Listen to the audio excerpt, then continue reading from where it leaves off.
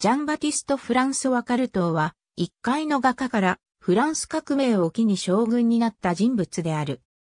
南仏の反乱に際して、マルセイユの鎮圧に活躍し、1793年のトゥーロン行為戦において、若き日のナポレオーネ・ブオナパルテ大尉の上官であったことで知られる。カルトーは1751年に生まれた。父は7年戦争で負傷して、廃兵員で亡くなった、竜騎兵連隊の総長であった。彼も軍籍に入り竜騎兵を経験した後、不評に転属。しかし画家を志して1779年に除隊した。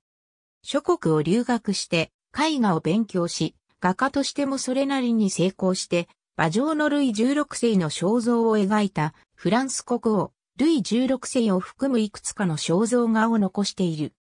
1789年、フランス革命が勃発すると、カルトーはこれを熱烈に支持し、パリで国民衛兵隊に入隊して、ラファイエットの副官となった。しかし次第に、共和主義に傾倒してラファイエットとはたもとを分かち、1792年8月10日事件ではチュイルリー宮殿襲撃にも加わった。このことでモンターニュ派の軍人として評価され、風貌に威厳があり、通る声の持ち主であったカルトーは、旅団長に昇進した。アルプ方面軍の文献隊1700名の指揮を任されることになってパリを離れた。カルトーは着任後、リヨンに向かう予定を変更して、すぐにプロバンス地方で起こっていた応答派反乱の鎮圧を命じられた。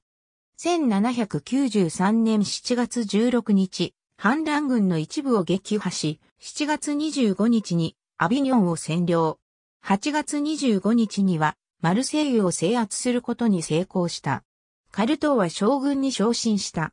1793年9月、カルトーは陽光トゥーロンを奪還せよという命令を受けた。革命の極左化に反対したトゥーロンの市民は公然と反乱を起こしただけでなく、ルイ17世の知性を公言し、イギリスとスペインの艦隊を港に引き入れていた。ラポアプ将軍指揮下のイタリア方面軍分検隊の7000名がトゥーロン東方に到着したが、カルトーが率いていた軍が民兵の寄せ集めでバラスラ派遣議員の影響下にあったことから、カルトーとは別行動をとった。しかし9月4日、6名の派遣議員は会議して、経験に乏しいが、政治的にはより好ましいカルトーの方に指揮権の優越を認めた。トゥーロン行為戦での土木作業を監督するボナパルト9月18日、カルトーはトゥーロンの包囲を開始するが、前哨戦のオリウールの町への攻撃で、カルトーの砲兵司令官であるエルジール・オーギュスト・ド・マルタン少佐が重傷を負い、軍は砲兵の専門家を書いていた。カルトーは湾内のイギリス・スペイン・ナポリ艦隊に砲火を浴びせることができると思い込み、オリウールの近くの高地に砲台を建設させた。しかし砲台が完成してみると、港も停泊地もその射程の外にあったことが明らかになった。派遣議員オーギュスタンド・ベスピエールとサリチェッティは公安委員会に報告し、若い砲兵隊ナポレオン・ボナパルトをカルトーの新しい砲兵司令官に任命した。ナポレオンは事案を提示したが、カルトーはこの若者の意見を無視した。総攻撃が失敗し、カルトーの停滞とその砲兵の不適切な運用が判明すると、ショーロベスピエールとサリセティの指示のもと、ナポレオンはレギエットとバラギエの要塞を奪う計画を再度提出した。ナポレオンは湾を囲む半島にあるこれらの要塞軍を奪取することにより、停泊している敵艦隊への間接射撃が可能となるので、それによって結果的にトゥーロンから同盟軍を追い出すことができるということを正確に予測していた。しかしカルトーはこれに従うのを拒絶して、作戦を解約し、ドラボルド将軍指揮下の部隊に直接的な攻撃を命じた。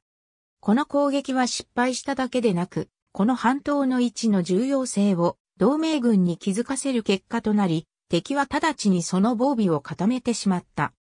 この惨憺たる失敗の後、カルトーはナポレオンに新たに補強された要塞軍を砲撃するための複数の砲台の建設を指示した。10月下旬、ナポレオンは国民公会に手紙を送り、その中で上官らの資質について不満を言い、彼らをアホーの群れと書いた。しばらくして公安委員会はついに動き、カルトーは1793年11月11日に解任され、しばらく投獄された。後位軍の指揮権は数日間在任したドッペの後、再度総攻撃に失敗し、デュゴミエ将軍が引き継いだ。デュゴミエはナポレオンを信任し、ここにおいてようやくナポレオンは作戦の実質的な支配権を確保した。投獄されたにもかかわらず、カルトーは恐怖政治を生き抜き、テルミドールのクーデターで釈放される。しばらく予備役であったが、1795年、バンデミエールの13日クーデターでも、政府側将軍の一人として活躍。ポンヌフで部隊を指揮したが、反乱軍に突破される失態を演じた。しかしバンデにおける応答派の反乱の鎮圧する部隊への配属を命じられ、退役するまでその地位にあった。1801年、ナポレオンは第一統領に就任すると、特に若い頃に世話になり婚姻であったカルトー夫人への配慮から、その夫であるカルトーをフランスと育児の管理する公職に任命した。1804年にはエリザ・ボナパルトのトスカナ大公国の一部であったピオンビーの公国の行政官に任命されたが、翌年に引退。